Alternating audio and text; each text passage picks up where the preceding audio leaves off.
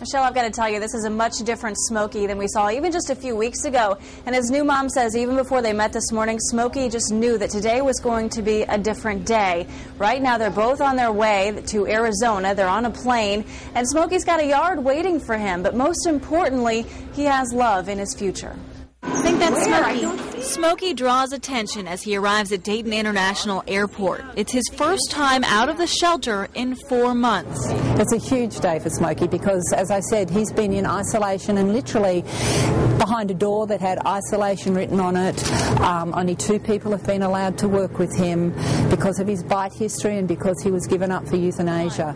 You may remember the violent act that thrust Smokey into the spotlight back in August. You're a good boy.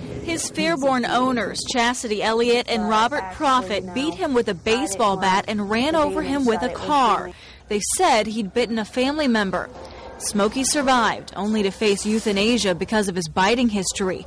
And with that news, our viewers spoke out, and so did animal lovers across the country.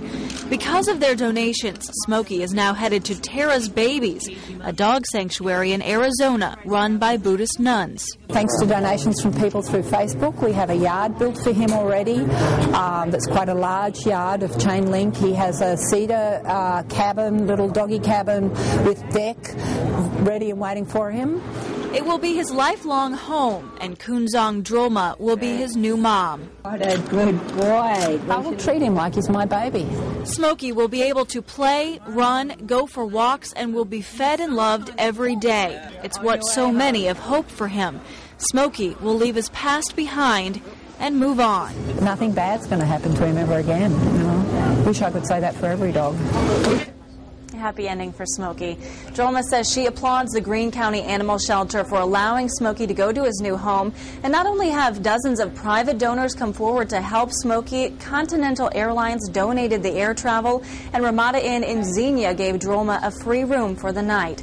Reporting live, I'm Holly Samuels, 2 News on your side.